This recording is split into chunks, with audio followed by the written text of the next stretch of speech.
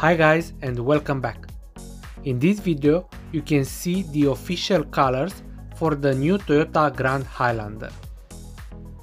Please let us know in the comments which one do you like. Enjoy the rest of the video. Thanks.